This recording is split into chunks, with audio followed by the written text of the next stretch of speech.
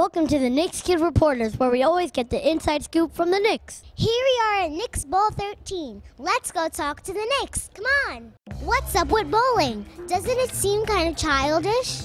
Bowling? Bowling is for everybody, but some of us aren't very good at it. Are you a good bowler? Of course, I'm a good bowler. I'm probably the best on the team. Are you always that serious? Your eyes are always like this. It'll be a lot of trash talk in a couple minutes, but we'll see. Who is the worst bowler on the team? The worst bowler, I'm going to go with uh, Jared Jeffries. I think so too. Don't tell him that. Do not tell him. I'm not the worst. Landry's probably the worst. What's the highest score you can get in bowling? I don't know, 300s. Top that. 300s. Whose closet did you get those shoes from? I borrowed them from Clyde. I don't think so. I think you're lying.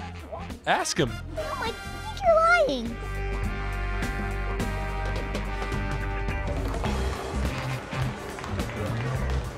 What's your dance when you make a strike? Uh, usually the funky chicken. Maybe I'll salsa. Can you show us? Uh, I gotta get a strike first. The Ricky Bobby. Go here, here, and then here.